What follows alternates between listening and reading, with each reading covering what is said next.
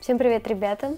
Добро пожаловать обратно на мой канал. Меня зовут Наташа, и сегодня мы попробуем сделать макияж весенний, модный, стильный с помощью палетки Pocket Candy от Lime Crime. Те, кто подписан уже на мой канал, кстати, если не подписан, то подпишись обязательно. Вы могли уже видеть эту палетку в предыдущих видео, и я уже неоднократно ей пользовалась, она мне очень нравится. И сегодня с ее помощью я попробую сделать такой более легкий макияж, более, может, дневной, весенний, но в то же время яркий. Я также отвечу на некоторые вопросы, которые мне задавали раньше, и на которые я не успела ответить э, для предыдущего видео Q&A. Лера задавала мне вопрос. Как часто ты делаешь маникюр? Часто ли посещаешь салоны красоты или предпочитаешь делать все сама? Очень актуальный вопрос. У меня сейчас вообще нет никакого маникюра, просто мои обычные руки. Вообще, раньше мне делала маникюр моя двоюродная сестра.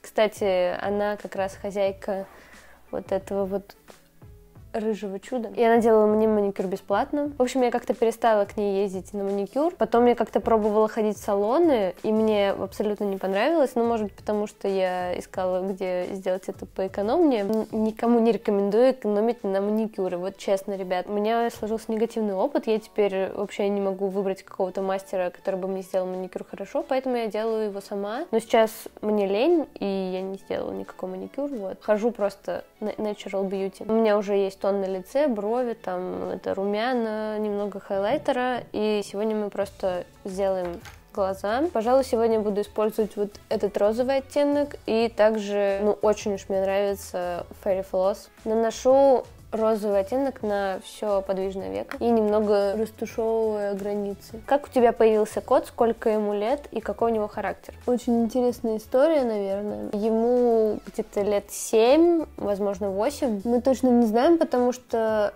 он у нас появился, когда ему уже было сколько-то месяцев или почти год. Тогда мой папа работал в трамвайном парке. Там у них обитал бездомный кот вместе со всякими собаками, крысами. Вот, и мой папа решил, что кота можно взять и к нам домой. Я вообще за то, чтобы люди брали животных э, из приютов или с улицы, потому что таким образом становится меньше бездомных и больных животных, и каждая зверушка может найти свой дом. Наверное, я дальше нижнее века подчеркну более темным оттенком. Если что, моего кота зовут Кузя, и у него очень очень классный характер, он очень умный и очень такой спокойный, но в то же время, когда нужно, он становится игривым. Я хотела сделать легкий весенний макияж, но получается опять довольно-таки ярко. Что поделать?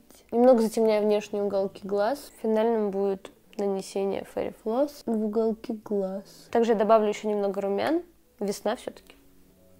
Интересно узнать про твой распорядок дня. Как ты обычно просыпаешься, как устроен твой день, ты чаще бываешь дома или на улице. Хотелось бы тебе что-нибудь изменить в своем распорядке дня. Ну, в целом, обычно я просыпаюсь довольно поздно для многих людей. Я просыпаюсь где-то часов в 10 в 11 утра. В принципе, мне бы хотелось изменить в своем распорядке дня именно это.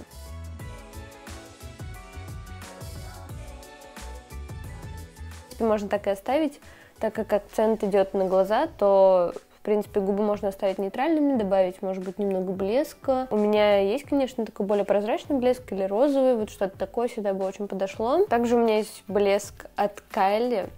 Да, представляете, я сниму обязательно следующее видео, так что не пропустите следующее видео, будет про этот блеск, мы его протестируем.